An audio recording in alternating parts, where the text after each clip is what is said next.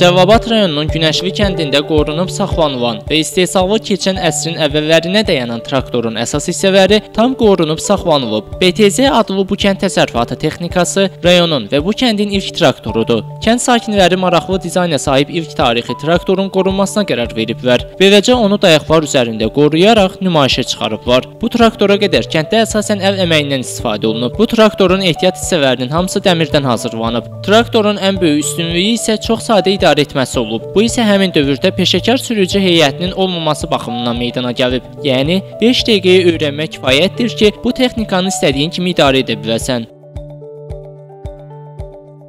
Qonaqlar gəlirlər, baxırlar, maraqlanırlar. Kim nağba gəlmişlər, şəkil zalı çəkdilər, uşaqlar da indi maraqlanırlar da. Yəni indi yenə yetmə uşaqlar belə şey görməyib axı. İlqar Mustafayev, Evgiz Abdurrahmanlı, Dünya TV